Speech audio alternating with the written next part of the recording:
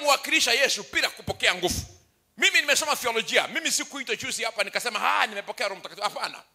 Mimi nilisoma. Nilikaa kwenye darasa kusoma kwenye chuo kikuu kwa miaka sita kusoma mambo haya. Baadaye nikaundua siwezi nikamwakilisha yesu kwa masomo na filosofia peke yake. Lazima nipokee nguvu. Kwa sababu nimesoma mimi ni mchungaji na kwenda kuombea mtu anakufa nikimwangalia nikauliza ni nini sina? Niko na degree niko na postgraduate diploma ya religion. Nimesoma miaka sita nimelipa herufu mia saba kwa kusoma uchungaji. Na wala naombea mtu anakufa. Nikajiuliza ni nini sina? Niko na degree ya theology. Na nilisoma kwenye chuo kikali. Nimesoma nimesoma lugha ya waibrania nimesoma wagiriki. Nime, nimefanya mambo. Nikafanya mahesabu. Nikasoma kila kitu kuhusu kanisa lakini bado ningeombea mtu anakufa nikimwona nikamuuliza mungu ni nini sina? Akaniambia upokee roho mtakatifu. Haleluya.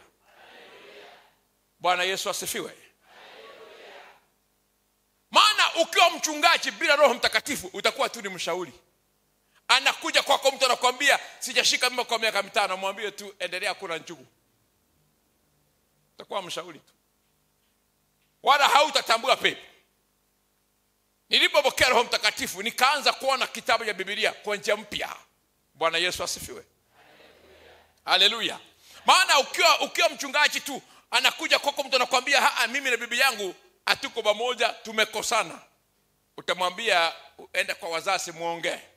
Na kumbe ni pepo ilikuja kwa ndoto ikasambaratisha ndoa na hiyo pepo ikishakemewa watakuwa sawa tu nilipopokea roho mtakatifu mwaka elfu mbili na kumi.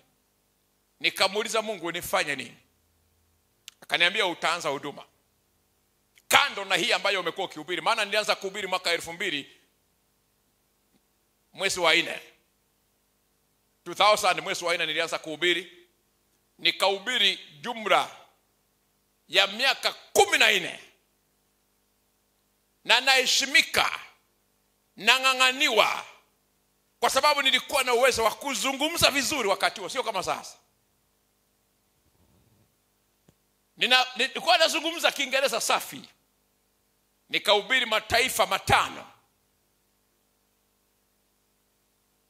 Mataifa mangapi? Mata, naheshimika makanisa makubwa. Mimi nikija hapa nikishapokea roho mtakatifu maisha yangu yakasambaratika mpaka nikafikiria nilipokea shetani. Heshima ikapotea kumbe kumpokea roho mtakatifu kuna kuja pia na gharama. Kuna gharama inakulazimu una sacrifice. Mtu ambaye nilikuwa naheshimika na pepo na mabrado hapa nikarudi kulala kwa, kwa stage.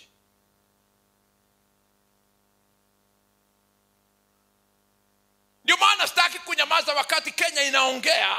Nasikia ujungu kwa sababu sisi tumehangaika mtu ambaye nilikuwa na ubiri watu wanakimbia wanaweka pesa kwa mfuko wangu elfu kumi elfu tano wanakimbia ati nimekosa renti ya elfu mbili. Usifikiri kwamba kupokea roho mtakatifu ati inaanza na huku juu. Unapokea unarudishwa hapa chini. Mungu hafanyi kazi na watu wako huku juu. Unaweza ukampokea leo kila kitu ulicho nacho kikapotea. Uliza zakayo.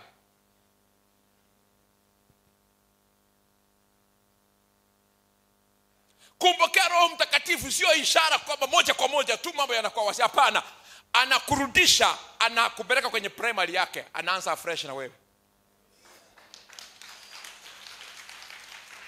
Ni roho mtakatifu. Maana yeye hawezi akatumia masomo yako.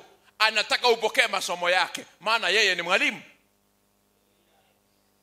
Ninakaa na suti moja wakati huo.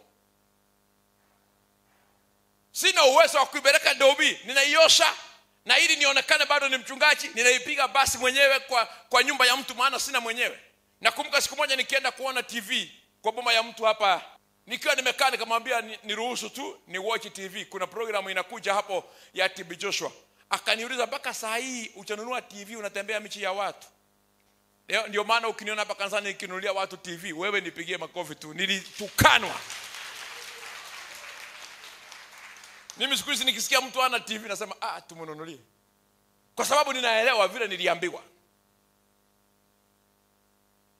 Nikizunguka hapa kutafuta mahali pa kulala mara nalala hapa nyanjo mara nalala kule mara kwa stage kwa sababu hasa umepokea roho mtakatifu. Wengine ukipokea roho mtakatifu na expect akupeleke central bank.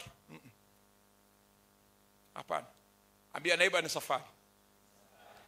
Bwana yesu asifiwe ni safari. Nikafungua kanisa. Nikamujia watu wache kwenye kanisa.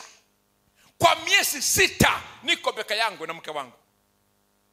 Niko na mshiriki mmoja tunapiga makofi. Yesu ni mwokosi wangu mimi nitai ndio maana watu wakisema ati makanisa yamekuwa makubwa nasikia kutapika nitapika. Kwa sababu safari hii hawaielewi. Unafungua kanisa nimekuwa na mke wangu.